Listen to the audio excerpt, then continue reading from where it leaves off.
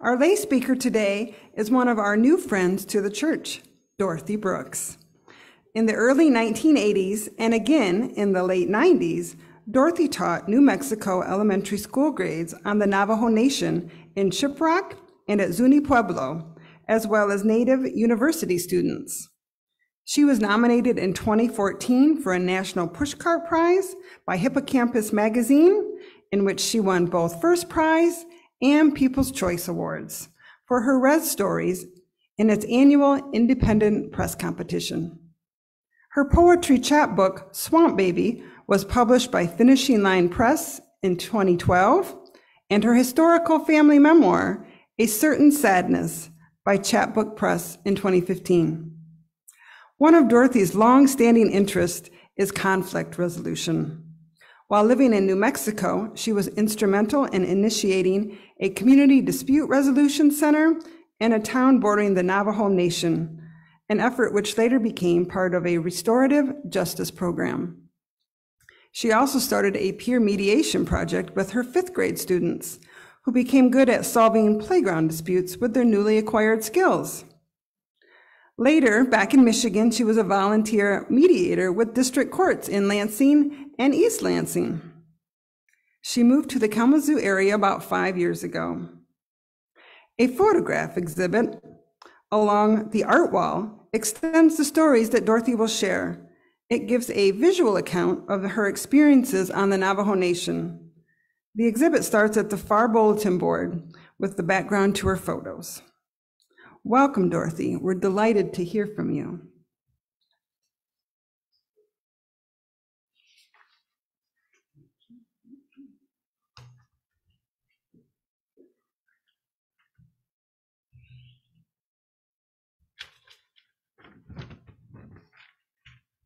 Good morning. Thank you, Kimberly. Appreciate that. So, my opening question today is why on earth would a 40 something single white Midwesterner plop herself down sight unseen 2,000 miles away to teach on the Navajo Nation in Shiprock, New Mexico? Well, that person was I. And given the current divides in our country, lately I've been thinking a lot about that experience. But back to the question the why, for me, was decided long before I actually went. As a little girl, tagging along when daddy went fishing, we'd sometimes come across an arrowhead in the sand blows along the river. Although we weren't native, he would hold one of those flints in the palm of his hand with such genuine wonder about its maker, its craftsmanship, and its beauty. Somehow I was able to sense that, and I knew for sure when I grew up that I wanted to learn more about Indians. So now to a second question. Why am I standing up here about to share some stories with you that I wrote about experiences I had 40 years ago? That's for us, hopefully, to discover. But first, just a few considerations. Talk about balance. Native Americans of today want to be regarded as current, as vital, productive individuals and tribal members. For example, Deb Haaland, Laguna Pueblo, our current Secretary of the Interior, or astronaut Nicole Mann, Wailaki of the Round Valley Indian tribes, or former Olympic gold medalist, excuse me, gold medalist Billy Mills, Oglala Sioux tribe, in town just a couple months ago speaking at Western Michigan University. And of course, there are many more. Two, my stories detail only my own, one person's experience, and so I do not begin to profess to give a comprehensive account of reserv- excuse me, microphone, of reservation life. It's only what I saw in front of and around me in my particular moments there over the course of six or seven years. Next, I should mention that any names have been changed intentionally. Two, I would respectfully ask that no photos of my related exhibit over there be taken because of copyright and cultural considerations. Thanks. Finally, and certainly not least, my gratitude to publishers of a decade ago when my stories came out, Weber, The Contemporary West, and also Hippocampus Magazine for running my stories and related photos, and to TLAA, a collective of indigenous expression, which was a student journal at New Mexico State University for publishing several of my photos shown in this accompanying exhibit. And to those of you within our community, oh my goodness, for intrepid help mounting that first half of the show, for being willing to help with the table setup, for sharing helpful display hints, for feedback on the initial setup, and this morning for pitching in and getting the last half of the exhibit up smoothly and in time. My eternal gratitude. So now let's get to the stories.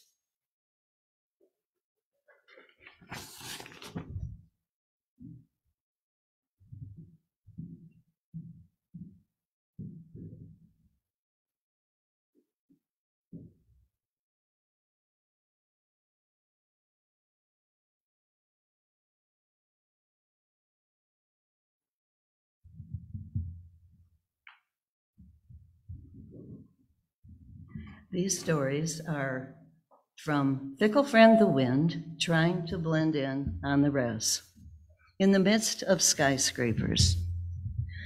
The sharp ring of the phone made me jump as I studied at my desk in my high rise dorm at Columbia University in New York. I had completely forgotten my application to teach in Shiprock, which I'd sent out the previous Christmas with a batch of others. I wasn't really expecting a reply. Picking up the phone, I heard a man's sparse voice lean on words in fragments over the crackly connection. We need a kindergarten teacher. Can you come? The room suddenly dropped away as the memory of my application flooded me. When? I stammered. School started Monday. I glanced out my window where sometimes roiling flames rose from nearby Harlem. I was already worlds away from my own small town in Michigan. But I heard myself saying, if I get there as soon as I can, do I still have a job? It seemed impossible to pull off, but I knew I wanted to grab it. I'd get a leave from my teaching job at home and ease out of my apartment lease. Yes, he said as the phone connection cut off. Two days later, I was stuck on the tarmac at JFK Airport because of an air controller's strike. When my plane finally took off, but for a quick stop home to gather some belongings in my car, I was already heading west. First day reality check. On my first morning at school, Kids were zigzagging everywhere on the playground. I threaded my way through a mass of elementary school children with their glossy black hair and deep brown eyes that quickly looked away from my smiles. Inside, the principal, a white man with measured restraint, showed me to my kindergarten room. Gazing out the window was the Navajo teacher aide with whom I would work. I had a thousand questions, but before I knew it, she had disappeared. Then the bell clanged full volume, and immediately in the doorway appeared silent as stone five year olds. They edged tightly against the back wall, as far away from me as they could get. That is, with the exception of Chunky Jackson. Beautiful black hair streaming down to his waist, he anchored himself in the hall just outside our door and bawled, no, howled nonstop. I could not coax him inside. Back home, my kindergarten class had slathered me with grins, hugs, sometimes tears, and unabashed laughter. But these children sat and watched. Up in front, I sang like a Broadway star, did clever action rhymes. I invited, I cajoled. I was a one person act, and I bombed. The kids wouldn't even look at me, nor would the aide, who had slipped back in and joined them. Mercifully, the school buses finally appeared in full view beyond our window, and my students came to life. In the jostling, I did the usual, trying to restore a little order. Instantly, the whole class, plus the aide, broke into laughter. Why? More importantly, what kids went on which buses? There were no street signs or house numbers in Shiprock, and Jackson still bellowed in the hallway. The aide saved the day. At the last minute, she was able to take him by the arm, and with all the others, they left. Running outside to join them, I couldn't find anyone in the swarm of kids that I recognized. All I could do was cross my fingers that my students were on the right buses. Excuse me, lonesome sheep and old pawn. The first time I needed groceries and headed for a trading post in Shiprock, seven or eight bleeding sheep from an attached corral greeted me. I did a double take. Live sheep? What were they doing there? Evidently, they were for sale, pawn, or trade. I never knew, but I always felt a sharp pang because I guess they were probably headed for mutton stew. In actuality, they were the lifeblood of the res, for food, for weaving, as an indication of the matriarch of the family's wealth, and what other crop could be raised on that unforgiving landscape. Inside the trading posts seemed a foreign land to me. No high shelves that required stretching. There were simply sparse makeshift ones at waist length, with a mix of anything that could be essential to Navajo life penny nails, horse tack, cast iron skillets. Once I located my cans of tomato soup and tuna, I would work my way past the 50 pound cotton bags of fry bread flour embellished with a red rose logo, the Big Chief writing tablets, and head straight for the back of the store.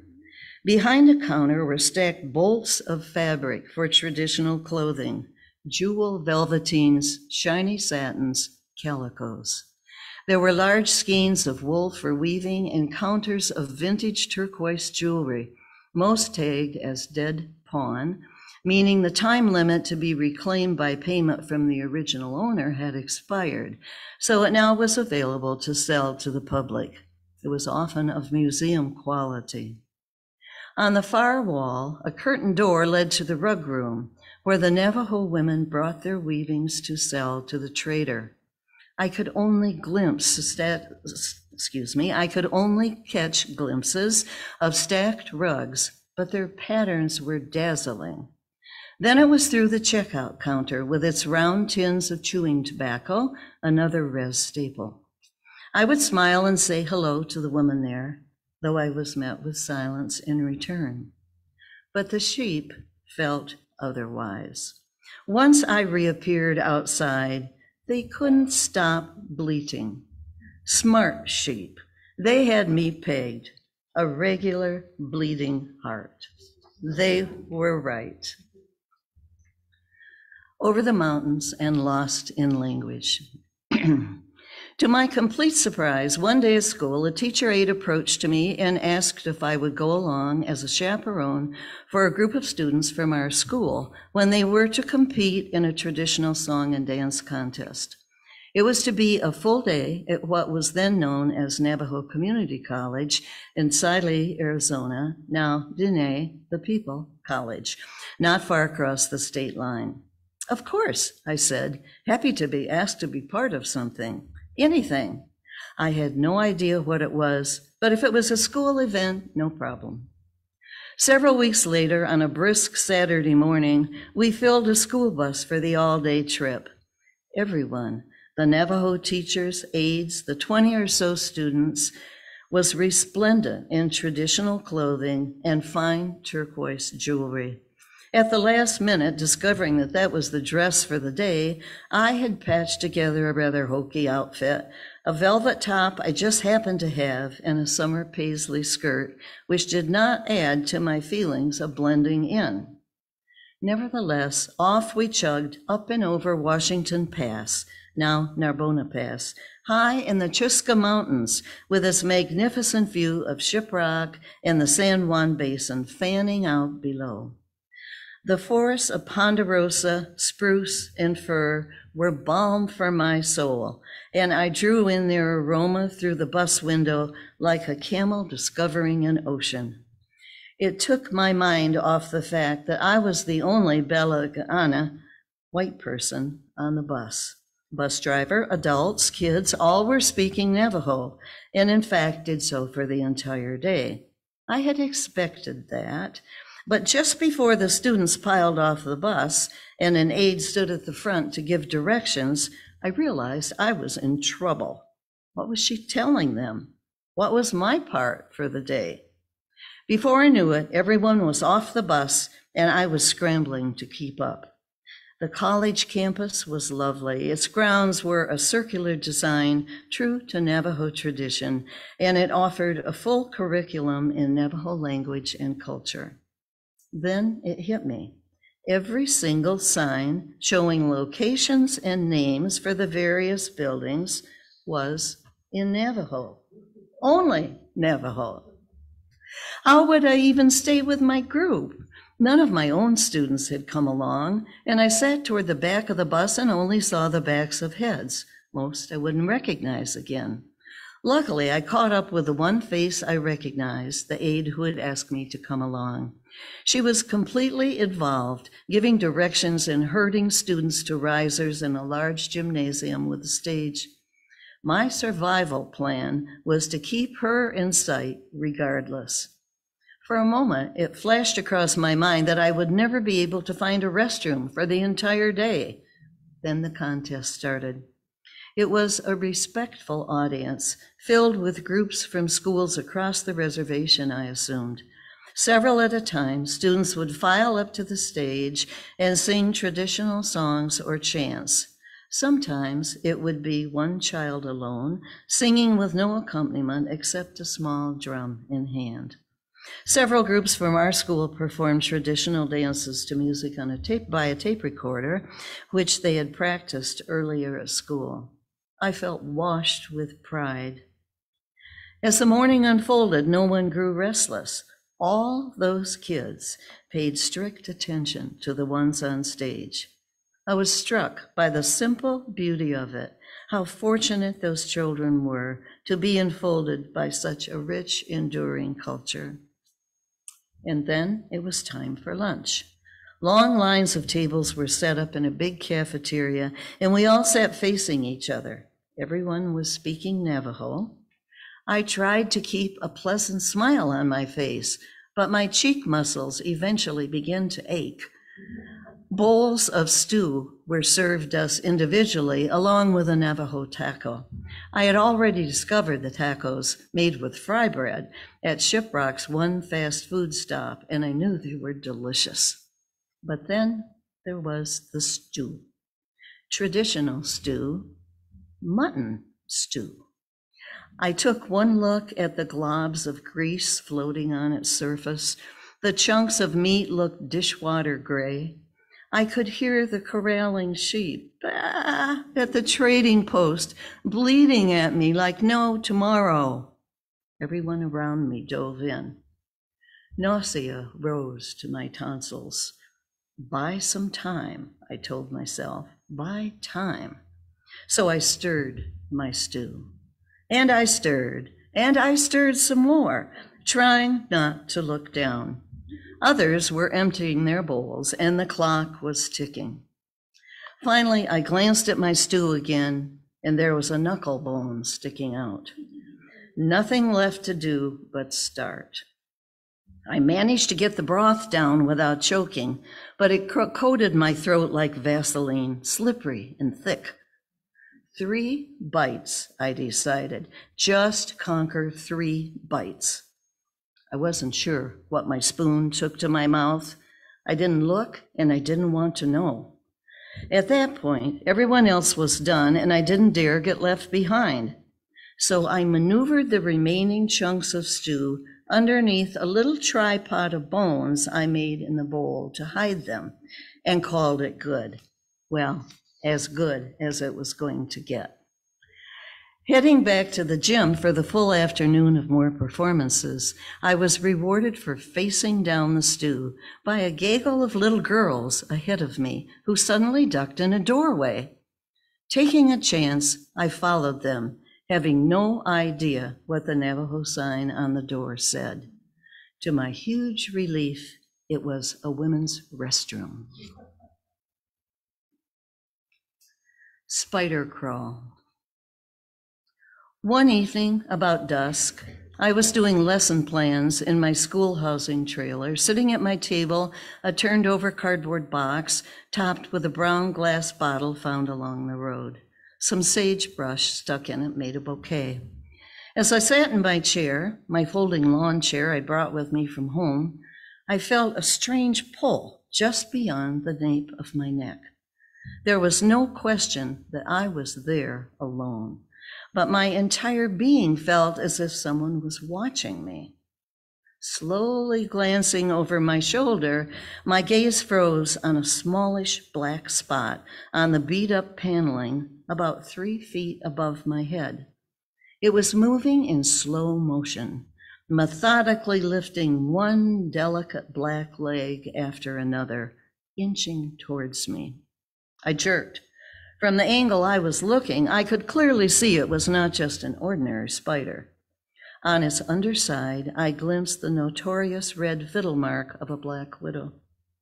I'd never seen one in my life, but I knew its markings and its reputation. When I finally gathered my wits enough to grab a paper to swat it, it had lithely glided off as though I had only imagined its presence. Now there were two of us living in my trailer. That night I left all the lights on. I lay rigid, my eyes checking each groove of the paneling, the ceiling tiles, the bare floor around my sleeping bag and its thin foam mattress, then back again and again. Next day at school, still shaken, I asked the school nurse what to do. She snorted then shrugged and said, I should just shake out my shoes each morning like everyone else did. Or put my bedposts in stew cans filled with water so spiders couldn't get to my bed. But I didn't have any bedposts since my mattress rested flat on the floor. Each morning, I shook my shoes out as if they had hundred dollar bills stuck in them but the spider remained elusive, gambling on her own game. Amateur hour. As the days and weeks of my new job melded into December, it was time for our entire school to file into the gym for an assembly. Each class was to go up in front and sing a few songs. My still shy kindergartners and I had prepared a rather muted rendition of The People on the Bus Go Up and Down, and my nerves were working overtime. What if I couldn't show all those watching eyes that I could teach, that I could manage my kids? But our song went without incident, and I wished I could hug each kid for doing well, which was simply not done. I'd learned to lasso in my usual froth of enthusiasm weeks ago, trying to match the more composed behavior of the Navajo adults around me. As we turned to leave, one of my students, Roxy, with sparkling eyes and who was always bursting with raw motion, bounded out of line and onto center stage, claiming it as her own. Just beyond my arm's reach, she turned her back to the sea of faces in the audience, promptly stuck out her little behind, and pulled down her jeans. Wearing no underwear and quicker than a rabbit, she mooned them all. There was surprised silence And then, like lightning, she bolted for the playground exit door. The principal never missed a beat. He was one gallop behind her. The rest of the afternoon, there was no word about her. The Navajo teacher aide seemed silent about all of it. My very skin felt stretched with worry.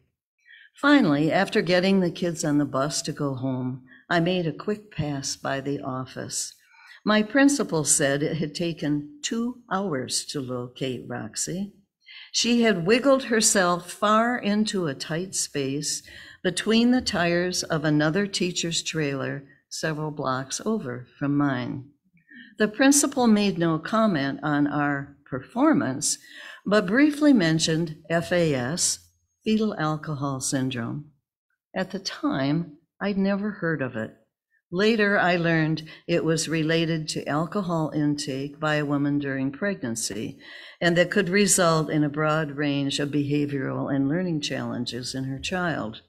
And of course, it was not unique to the reservation.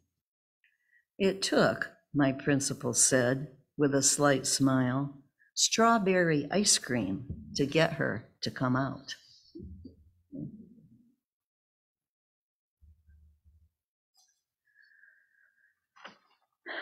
One morning, I discovered a scruffy cardboard box, a shoebox, sitting on my desk, evidently left by one of my fifth graders. And this note to me. And by the way, the original is over there on the table.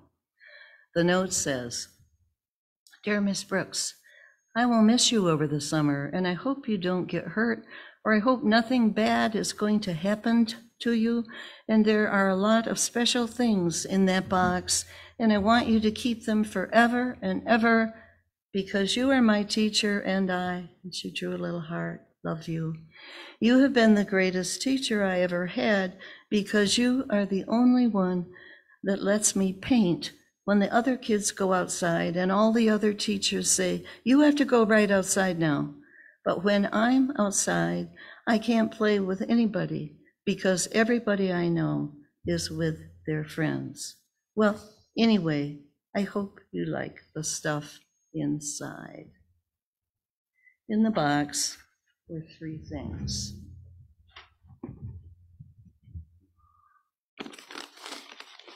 Wrapped in newspaper.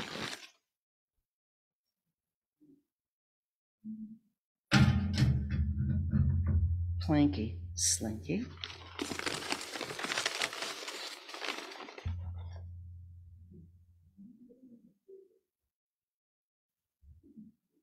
Oh, excuse me, microphone. I've never apologized to a microphone before. I've done it twice this morning, I observe. And this.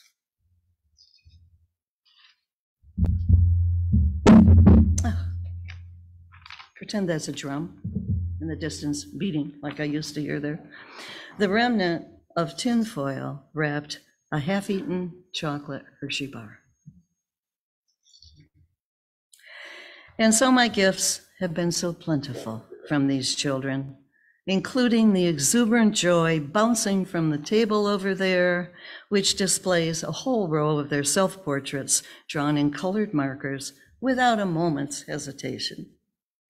But yet another gift from them is my hope this morning that their stories might remind us that regardless of era or deep divisions or culture, that children always have a lesson for us, that our innate biases can be freed by our human qualities and offer always the potential for building bridges.